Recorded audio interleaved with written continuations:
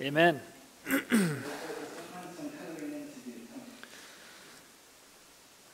I love uh, the picture of having the kids here at the front. I'm reminded, I think it's Psalm 127, verse 4. I think I quoted it a while ago when we prayed for the kids. How kids are a blessing from the Lord and how we are to treat them um, as we would an arrow.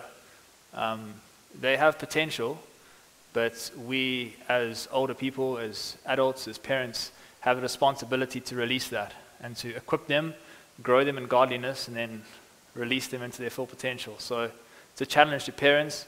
And we believe as a church that when there are families with children, we all have the blessing of being uh, mentors and examples to those children. So there's always little eyes on you. So, um, so always be aware of that. And you have influence for these young kids. So just uh, before I start, obviously our mission trip uh, team got back uh, last week. They had a good time. Uh, it was quite funny. I had a lot of people tell me they couldn't come to life groups. Some guys took a day off. Some people said they couldn't be on worship today because they were recovering from the mission field. So I said to Trent during the week, I was like, what did you do to them, bro? Um, but such is the nature of missions. Uh, it, is a, it is a hard task, so well done for those who went. Uh, good job. Um, so there'll be a really cool report back next week. Okay, so turn with me to Romans chapter 9. We, sorry, I keep saying that. Romans chapter 12. All right, Romans chapter 12. That's where we're going to be this morning. We were there last week, and um, we really, in depth, for 30 minutes, we unpacked verses 1 and 2. So much in it. Um, if you did miss it, I encourage you to go back and listen to it.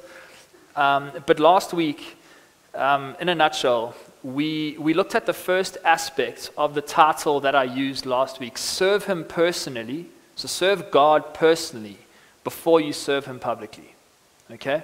Serve Him personally before you serve Him publicly.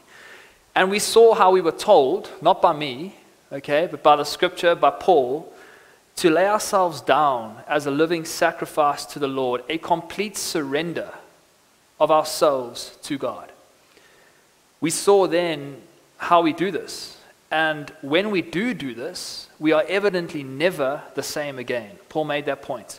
We are never the same again because our hearts, our minds, our souls, the whole of who we are is transformed. We looked at that word metamorphosis from one form to the other. It's completely transformed. You are never the same again for those who have met Jesus.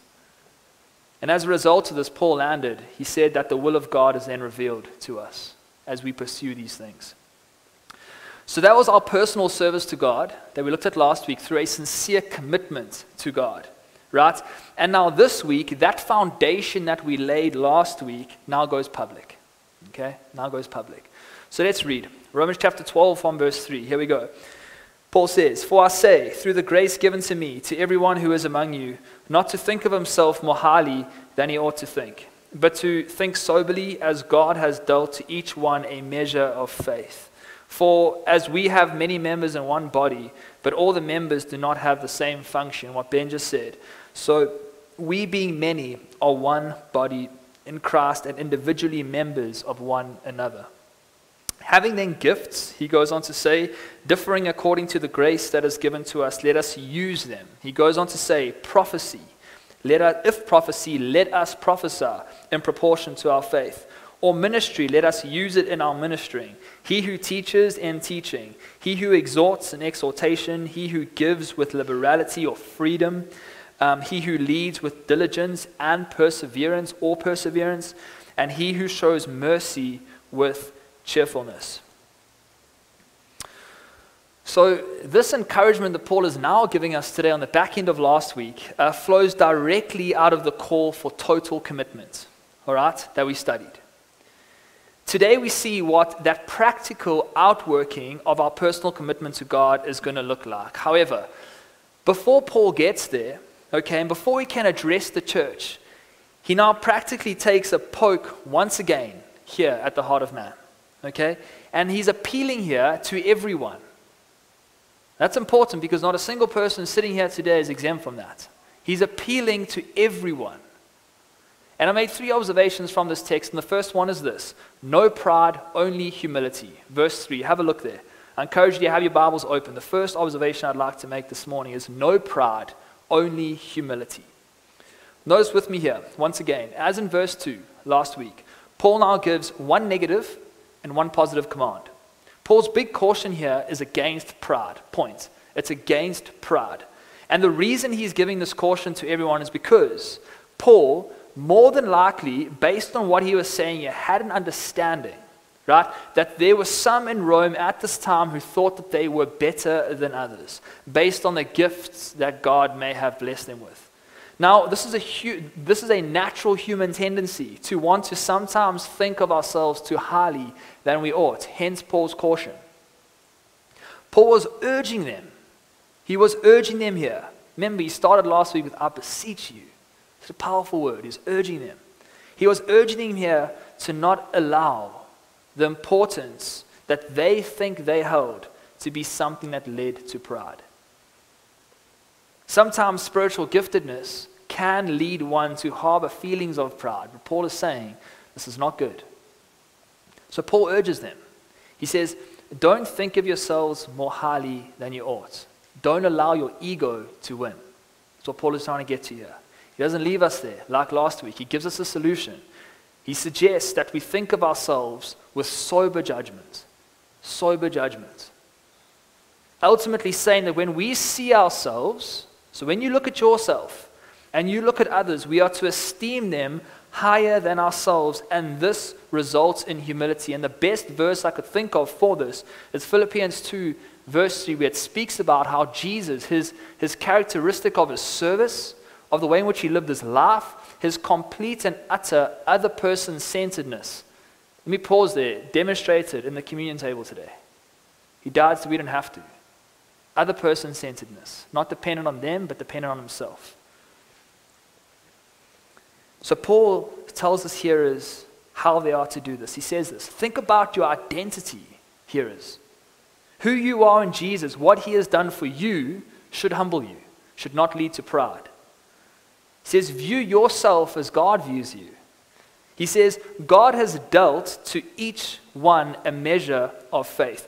Now, in my study this week, I've landed here. This is not necessarily saying that the stronger your faith, the more accurately you're going to think about yourself. I consulted a couple of scholars here, and I think this word measure here is correctly translated as like the, the idea of a standard. The standard. And the point I want to make is this the standard, the benchmark by which we are to see ourselves is Jesus. He is our standard, He is our example, and the lens through which we are to see ourselves. Why?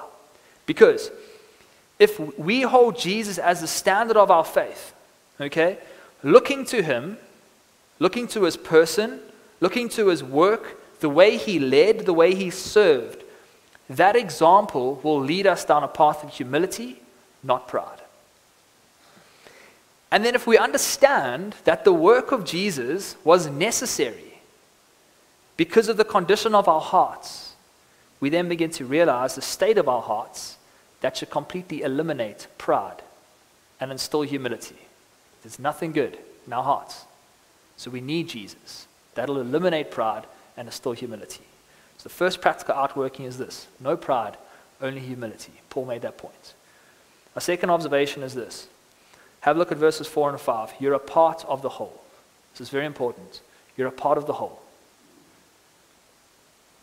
Now that Paul's addressed our identity in light of Jesus and how he views us, because that's most that's paramount, how Jesus views us.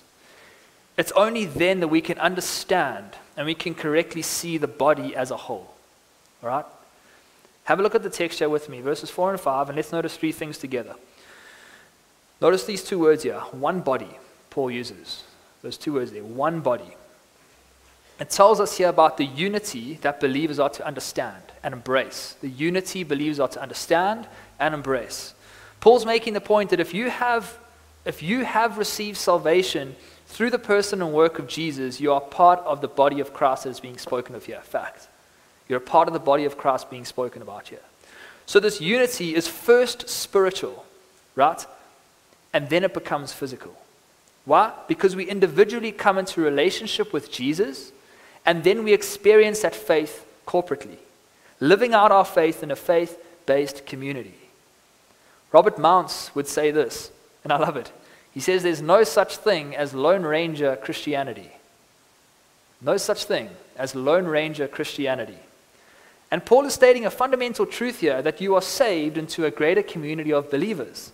This unity is so important, and I wonder if you can remember a couple weeks back, um, I spoke a little bit about the, the Jesus high priestly prayer.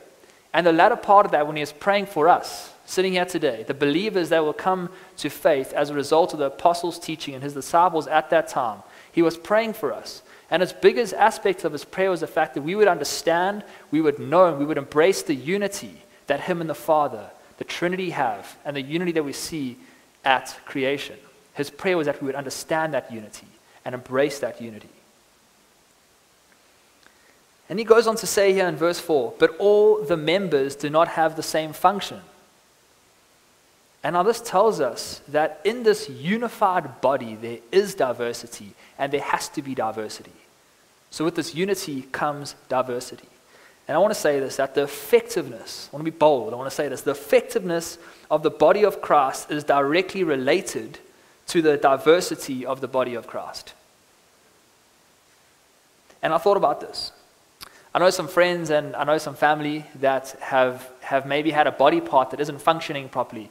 Uh, maybe it's a hip, it's a knee, it's an elbow, a shoulder, whatever it may be. And when that happens and when that comes about, uh, oftentimes we see that it's either replaced, it is repaired, or there's some sort of medical treatment that is needed to allow that one body part to now function properly again so that the whole can function as it's supposed to. Okay, so a new hip, new knee, new elbow, new shoulder, whatever it may be. Okay, and the point is this I also thought about an athlete, speaking about body parts, who wants to function at the absolute optimum.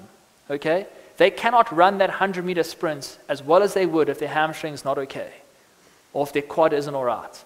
Okay, everything has to be functioning. The diversity of muscles, the diversity of body parts have to all be good in order for the body to function at it's optimal. The body of Christ, friends, because Paul's using very, very simple language here. He's relating us to a body.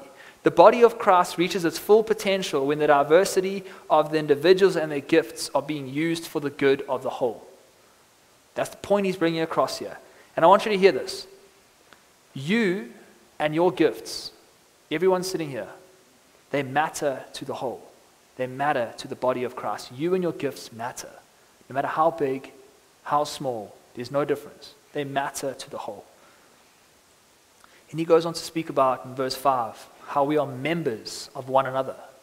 Members of one another. Speaking of a mutuality, which means the sharing of a feeling, of an action, or a relationship between two or more parties. 1 Corinthians 12 speaks of the same idea of the church. It's people being many members, but a part of one body.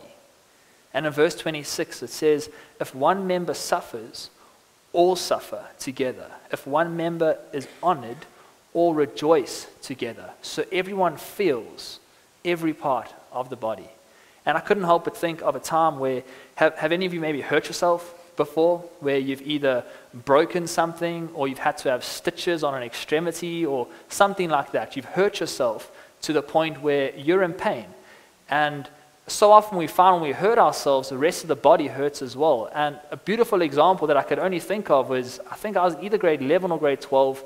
After water polo training, I was in the water for about two hours. And then now your skin's all soft, right? And then I was helping one of the ladies move something. And then as I turned around, the trolley we were moving caught the back of my foot and pulled my heel down. And I had to have stitches, right? And the point I'm trying to make is this for about two or three nights, I remember just I had five stitches in the back of my heel. That's all it was. But my whole body could not sleep because of this pulsating throb in my little foot. My whole body was feeling sorry for the one little heel, okay? Because they mutually were feeling the same thing, experiencing the same thing, okay? My heel is a part of my whole entire body.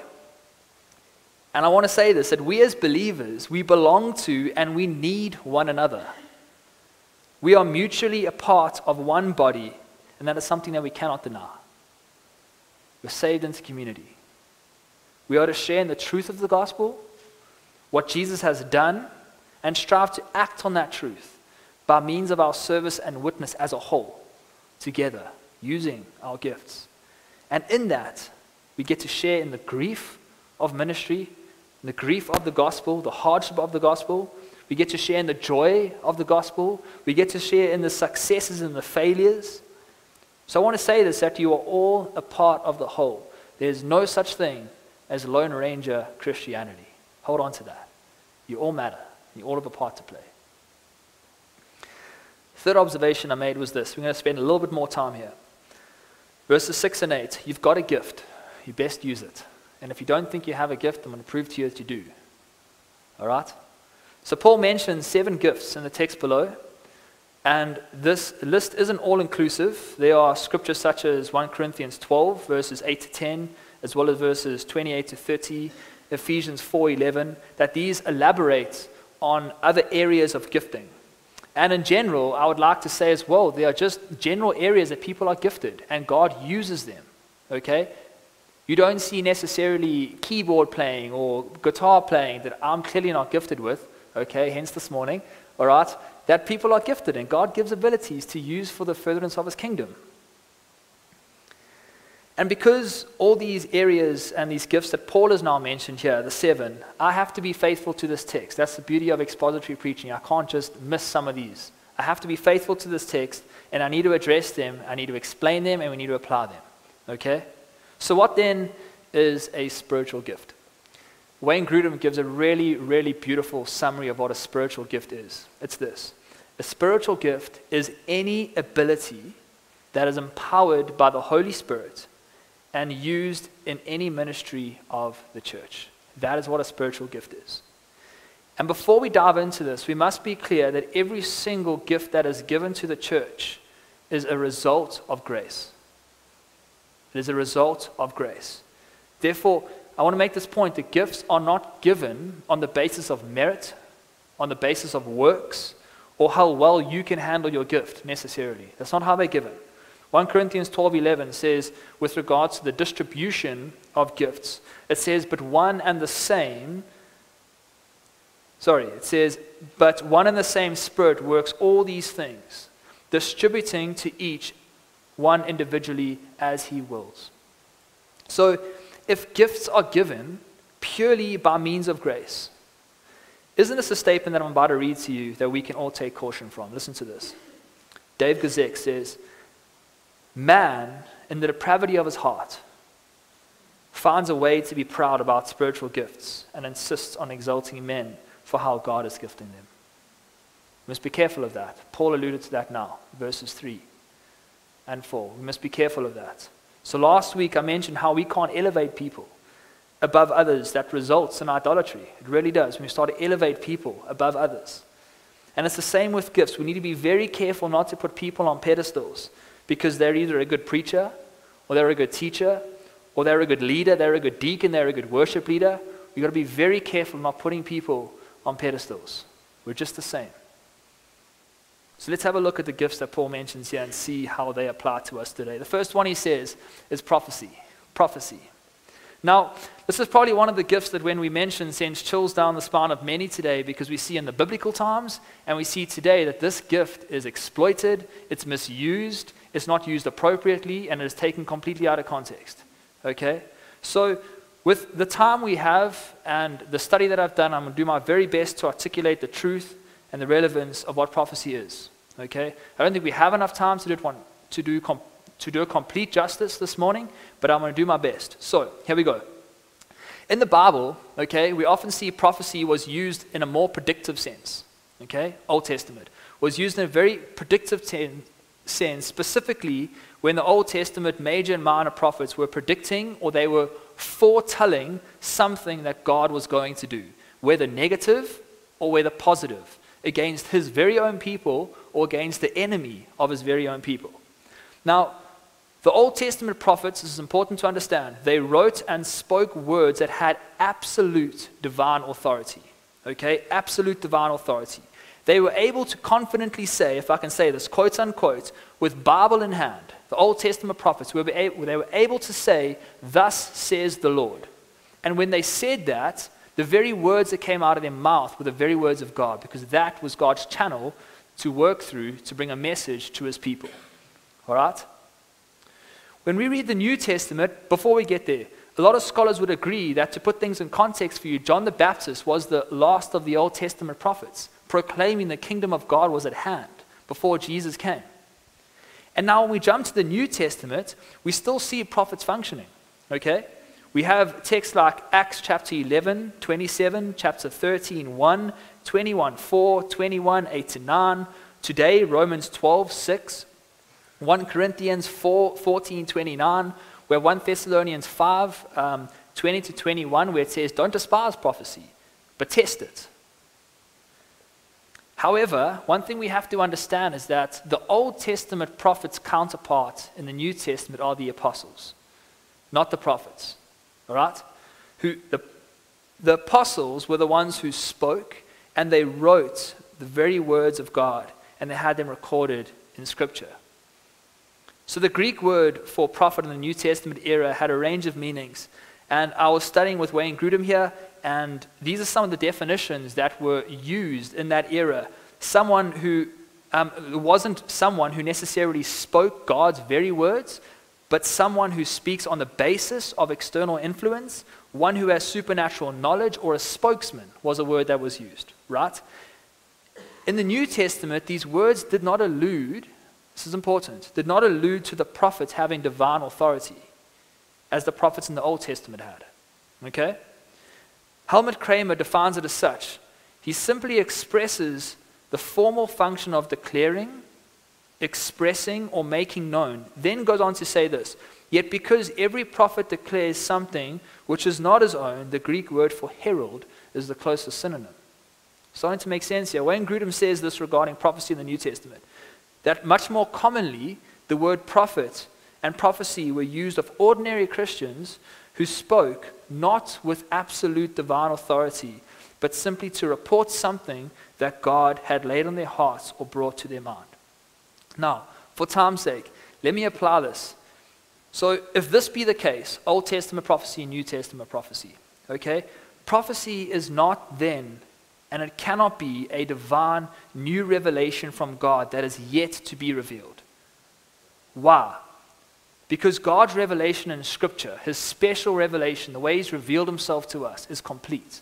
The Christian canon, it's complete.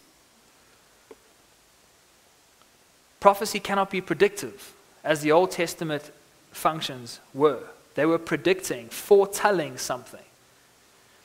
Rather, as 1 Corinthians 4 14 verse 3 says, But he who prophesies, he who prophesies, speaks edification, speaks exhortation, and comfort to all men. So let me apply it like this prophecy today would take this form, I believe, based on the fact that prophecy is non authoritative, meaning it's not the word of God, because that's the word of God. It is not predictive and it's revealing nothing new. It would be something like this, I believe. God laying something on the heart of a believer for another believer, hear this, that will edify, that will encourage, and that will bring comfort. And this is done primarily through Scripture. Through Scripture. And if you have a Scripture, let me encourage you today, church. If you have a Scripture, if you have a thought for someone, someone close to you that is going through a specific season, pray about it. Share it with them. And you know what the beautiful thing is? They have the right to either accept or reject that. 1 Thessalonians 5. Don't despise prophecies, but test them. Let me land this point with this. Kent Hughes says, This gift is normally the communication of revealed truth in a manner that convicts and builds up its hearers. John Piper alludes to this, that there's a prophetic aspect towards preaching. This is revealed truth that is being heralded, proclaimed, that is there to edify, convict, and build up its hearers. Let me say this if prophecy is forthtelling, something that has already been revealed, may I be bold and say then that the revealed truth of Jesus, his person, his work, is that which needs to be forthtold and proclaimed in our preaching, in our teaching, and in our everyday witness. We aren't get caught up on the gift, but the content of it. Leave that one there. He goes on to speak about ministry and service.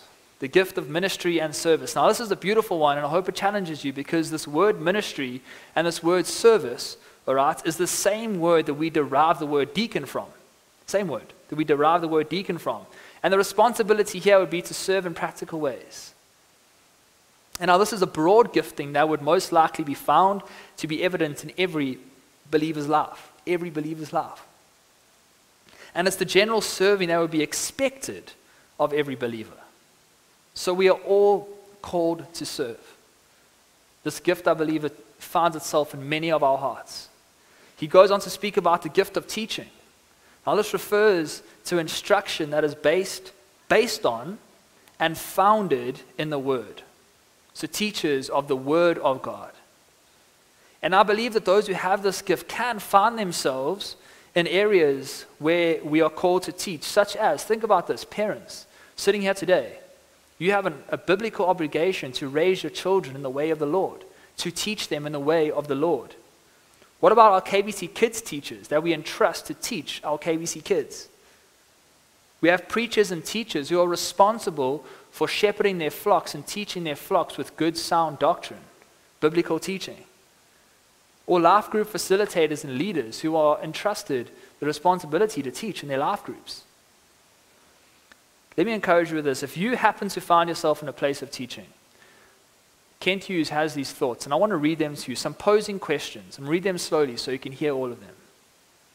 Before you begin to teach, parent or teacher, preacher, whoever you are, before you begin to teach, ask yourself these questions Have I listened to God's voice?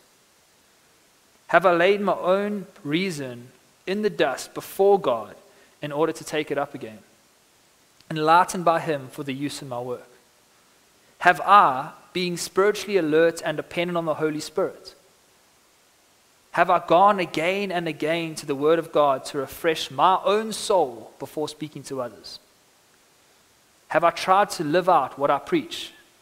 Parents, Sunday school teachers, have I tried to live out what I preach? Brad, today, not going to leave you all hanging there, myself included. Have I acknowledged my sins when the Lord showed them to me and repented of them? Have I recognized moment by moment my utter dependence upon the Lord? Have I been lazy? Have I been diligent? Have I insulted the Lord by feeding his sheep with ill prepared food? Some questions to ask before we begin to teach. He goes on to speak about the gift of exhortation. Now, the gift of exhortation is characterized by someone encouraging others to live out what it is they've just been taught. So these go hand in hand. Exhortation is the gift where someone encourages others to live out what they've just been taught. Again, Robert Mounce, he says, if teaching provides guidance for what people ought to do, encouragement helps them achieve it. And based on that, I want to say this that we don't want any fat sheep. Okay? That's the point I want to make today. We don't want any fat sheep. What do I mean by that? Okay? If our Brad just sat and I ate and I ate and I ate and I ate and I ate and I did nothing else but eat, what happens to me? I grow. Okay? Because that's what food does for us. All right? Those who are taught but not exhorted become spiritually fat sheep. So the importance of teaching comes to light in the importance of those gifted with encouragement to help others act on what they have been taught. So this gifting is important. And the big idea behind this gift of exhortation is the idea of somebody coming alongside someone else. And the best analogy I could think of, because this text lends itself to a lot of analogies, I don't think I swam until I was probably eight, nine, maybe even 10. I'm not too sure. My parents would know. But I didn't swim until I was, you know, yeah, probably nine or 10 or so. And the reason being, I was scared of the creepy crawly. My brother wasn't with me. I wouldn't go near the pool. I was scared of the weir. There was a big black hole. You don't go near that. Or that thingy that blows all the bubbles. And then to throw a spanner in the works, you put a mosaic dolphin at the bottom of the pool, I'm out. You know? Anyone else experience that? That was scary. So I didn't swim. I didn't swim until I was probably, yeah, like nine or 10. But you know what? I thought about this teaching exhortation. It took this. It took a family member one day. My parents weren't even around. It was my grandparents. Okay? My parents weren't even there. It took a family member of my grandparents to say to me, Brad, no, let me teach you. This is what happens when you swim you hold your breath, etc., etc., etc., and then you swim. And then what he did is he took me by the hand and he came alongside me. So he taught me and then he encouraged me. And then I was able to swim. And from that day on, I love the water. Okay? So that is just a prime example of how when you teach and we exhort and encourage, to go hand in hand. So, this gift of exhortation, this gift of encouragement, can be seen by means also of warning, in the giving of godly advice, and just counsel and general encouragement. That's how we can see this. So, if this is the gift that you have, may I suggest this, church, that you wear yourself out, encouraging your fellow believers to practice and implement what it is those who are gifted in teaching have taught us. Encourage others. It's needed, very much. The next gift that he speaks about is giving and generosity. And as soon as I read this, giving and generosity, I thought about Trent because I don't know if anyone's had a meal with Trent, but you go to his house, big, beautiful meal, and then he offers you a second plate and he forces you a third. Okay? So he's very generous like that. And the best way I could think about this. So he'll see this. I'll apologize if he doesn't like that. But um, this gift is used by God, okay? This gift of giving and generosity. It's quite a special one, actually. This is a gift that is used by God as a channel through which God provides resource to his church and his body. Okay? And the person who is blessed by God, and I say that because everything we have is from God. And the person who is blessed by God and has capacity and means to give should do so with complete freedom and not reluctancy. That's the attitude through which they should be giving. There should be no ulterior motive, but only love.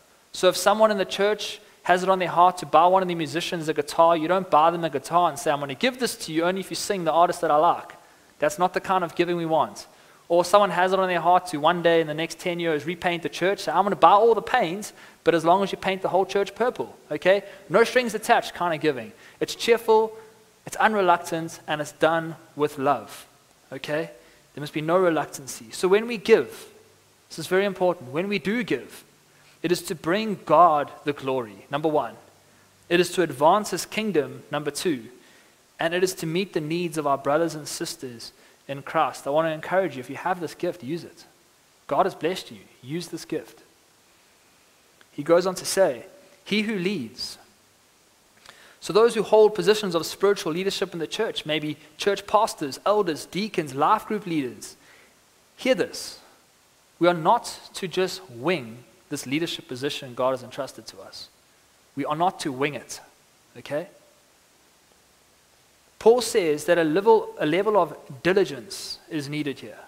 A level of diligence is needed here. This leadership is focused on the building up of and the benefit of others. So if we're going to be building into other people and benefiting them, we've got to use God as a resource and prepare ourselves, not just wing it, to build in to people. So those who are in a position of leadership in the home, keep going here.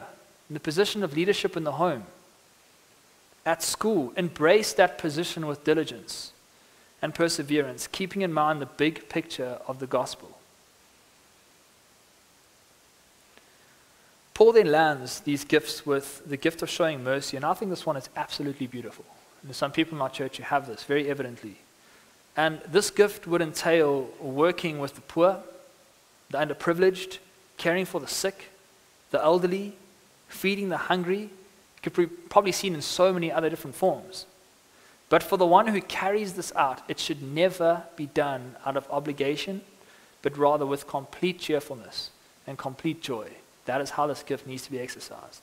And think about it like this. And I love that they give advice because it makes sense.